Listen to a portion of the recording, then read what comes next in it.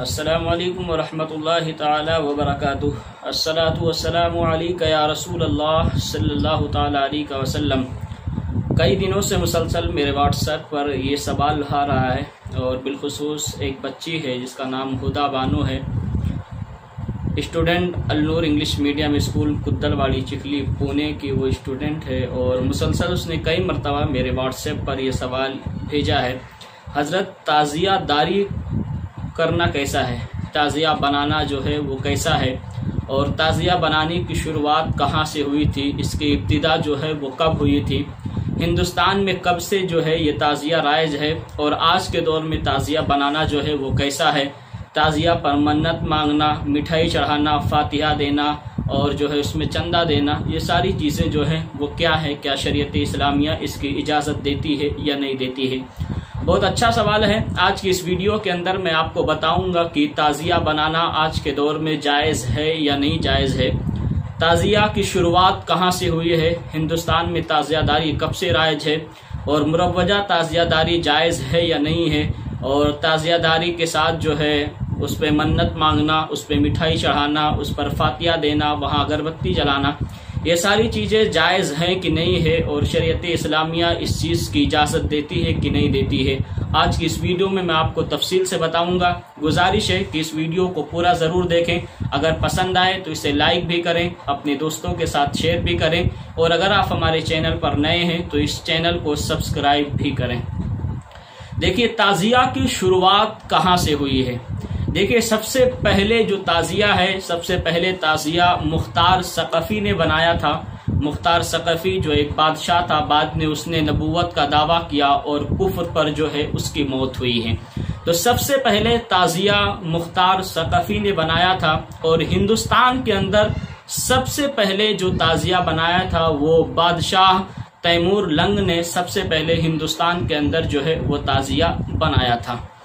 اب یہ بات سوال پیدا ہوتا ہے کہ بادشاہ تیمور لنگ نے جو تعزیہ بنایا تھا تو پھر آج کے دور میں تعزیہ بنانا جائز ہے کہ نہیں جائز ہے؟ دیکھیے، جو علماء کرام تعزیہ داری کو ناجائز و حرام لکھتے ہیں، وہ مروجہ تعزیہ داری کو ناجائز و حرام لکھتے ہیں اور جو علماء تعزیہ داری کو جائز قرار دیتے ہیں وہ مروجہ تعزیہ داری کو جائز نہیں قرار دیتے ہیں، بلکہ پچھلے زمانے میں جس طریقے سے لوگ تعزیہ رکھتے تھے، اس کو جو ہے وہ جائز قرار دیتے ہیں۔ مروجہ تعزیہ داری جو آج کے دور میں رکھی جاتی ہے، پانچ محلے کی، دس محلے کی، پندرہ محلے کی، یہ مروجہ تعزیہ داری جو ہے وہ ناجائز و حرام ہے۔ اعلی حضرت سیدنا فاضل بریلوی رضی اللہ تعالی عنہ نے جو رسالہ تعزیہ داری لکھا ہے، اس پر اعلی حضرت نے مروجہ تعزیہ داری کو ناجائز و حرام لکھا ہے کہ آج کے دور میں تعزیہ بنانا جو مروجہ تعزیہ داری ہے، یہ ناجائز و حرام ہے۔ اور اس کے ساتھ سیدنا سرکار اعلی حضرت فاضل بریلوی علیہ رحمان نے یہاں تک فرمایا ہے کہ فاتحہ کے اندر چندہ وہ تعزیہ داری کے اندر چندہ دینا اور اس پر منتیں مانگنا، اس پر مٹھائی چڑھانا، وہاں پر اگربتی جو ہے وہ جلانا اور تعزیہ کو لے کر کے گھومنا اور فصلوں کا نقصان کرنا، یہ ساری چیزیں ناجائز و حرام ہے اور یہ ساری چیزوں سے تمام مسلمانوں کو بچنا چاہیے۔ لیکن آج ہم حسینی ہونے کا دعویٰ اور حسینی ہمارے اندر اتنا حسینی خون کھولتا ہے کہ ہم جو ہے وہ صرف حسینیت ہمارے اندر محرم کے دس دنوں کے اندر ہی آتی ہے اور دس دنوں کے اندر تازیہ بنا کر کے، ڈھول تاشے پیٹ کر کے، گانے بجا کر کے اور جو ہے وہ ڈھول پیٹ کر کے، ڈی جے بجا کر کے ہم ساری حسینیت دس دن میں نکال کر کے ختم ہو جاتے ہیں۔ پھر ایک سال تک ہمارے اندر حسینیت کہیں نہیں آتی ہے۔ دیکھیے یہ ساری چیزیں جو ہے وہ ناجائز و حرام ہیں۔ تعزیہ داری مروجہ تعزیہ داری جو آج کے دور میں دس دس پندرہ پندرہ محلے کی جو تعزیہ داری ہیں، یہ ناجائز و حرام ہیں۔ اس کے ساتھ جو خرافاتیں ہوتی ہیں، وہ بھی جو ہے، وہ ناجائز و حرام ہے اور اس سے مسلمانوں کو بچنا چاہیے۔ گانا، ڈی جے بجانا، ڈھول بجانا، یہ ساری چیزیں تو شیطان کا اور یزید کا کام ہے۔ یہ کام حسینیت کا کب سے ہونے لگا۔ یہ حسینی لوگ اس کام کو کیسے کرنے لگے کہ ڈھول، تاشے وغیرہ اور ڈی جے بجانا اور جو ہے تعزیہ رکھنا، جو ہے یہ ساری چیزیں جو ہے وہ شریعت اسلامیہ اس کی اجازت نہیں دیتی ہے۔ مروجہ تعزیہ داری ناجائز و حرام ہے۔ دلیل کے لیے آپ اعلی حضرت فاضل بریلوی رضی اللہ تعالیٰ عنہ اس سے بڑھ کر کے کوئی دلیل نہیں ہے۔ کہ سیدنا سرکار اعلیٰ حضرت نے جو تازیہ داری پر رسالہ لکھا ہے، جس کا نام ہی رسالہ تازیہ داری، آپ نے صاف طور پر مروجہ تازیہ داری کو اور سارے فقہ کرام جو ہے وہ مروجہ تازیہ داری کو ناجائز و حرام لکھتے ہیں۔ یہ ناجائز و حرام ہے۔ اور جو ہے اس کے ساتھ جو خرافاتیں کی جاتی ہیں، یہ ساری چیزیں جو ہیں، وہ ناجائز و حرام ہیں، جیسے ڈھول، تاشے وغیرہ اور جو ہے تازیہ پر منت مانگنا یا تازیہ پر اگربتی چلانا، یہ ساری چیزیں بدعت کا کام ہے اس سے تمام سنی مسلمانوں کو پرہیز کرنا چاہیے بدعقیدوں کو یا اہل خبیصوں کو جو ہے بولنے کا موقع جو ہے وہ ہمیں نہیں دینا چاہیے۔ تو ہمیں ان چیز سے خرافات سے بچنا چاہیے اور مروجہ تازیہ داری آج کے دور میں رکھی جو جاتی ہے، وہ ناجائز و حرام ہے۔ ہاں تو اگر ہم یاد منانا چاہیں حسین کی، تو کیسے منا سکتے ہیں؟ دیکھیے، بادشاہ تیمور لنگ نے جو تازیہ بنایا تھا، وہ آج کی دور کی طرح وہ تازیہ نہیں تھی۔ بلکہ آپ تاریخ اٹھا کر کے دیکھیں تو بادشاہ تیمور لنگ نے جو بنایا تھا، وہ جو ہے امام حسین کا گنبد بنایا تھا، روزہ بنایا تھا۔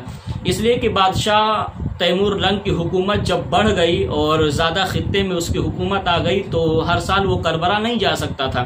تو اس کے ساتھیوں نے مشورہ دیا کہ کیوں نہ امام حسین کے روزے کو بنایا جائے اور پھر جو ہے یہی امام حسین کے روزے کی زیارت کی جائے۔ تو بادشاہ تیمور لنگ کو یہ جو ہے مشورہ پسند آیا اور اس نے امام حسین جیسا ہو بہو روزہ بناتا تھا اور جو ہے اس کی زیارت کرتا تھا، ادب کے ساتھ اس کو رکھتا تھا۔ آج کے دور کی طرح نہیں کہ ہاں تازیہ بنانے کے بعد پھر ڈھول تاشے پیٹتے ہوئے لے کر کے جانا، گلیوں اور محلوں میں چیخنا، چلانا، پھر کھیتوں وغیرہ میں فصلوں کو برباد کرتے ہوئے لے کر کے جانا، یہ ساری چیزیں نہیں تھی۔ آج کے دور میں ہم نے اس چیزوں کو رائج کر دیا ہے کہ ہم تازیہ بناتے ہیں، ساتھ میں ڈھول تاشے ہوتے ہیں۔ ڈی جے وغیرہ ہوتے ہیں، پھر عورتیں مرد ایک ساتھ کھڑی ہوتے ہیں، محرم غیر محرم غیر محرم سب ایک ساتھ میں کھڑے ہوتے ہیں، اور پھر اس کے بعد میں اگربتی جلانا، وہاں پر مٹھائی چڑھانا، پھر وہاں پر منتیں مانگنا، یہ ساری خرافاتیں ہم نے رائج کی ہیں، اور یہ ساری چیزیں ناجائز و گناہ ہیں۔ سیدی سرکار اعلی حضرت نے اپنے رسالے کے اندر ان ساری خرافات کو ناجائز و گناہ لکھا ہے۔ تو ہمیں ان تمام چیزوں سے بچنا چاہیے، ان تمام خرافاتوں سے بچنا چاہیے۔ اور مروجہ تازیہ داری جو اعلیٰ حضرت نے حرام لکھا ہے، اسے ہمیں حرام سمجھنا ہے۔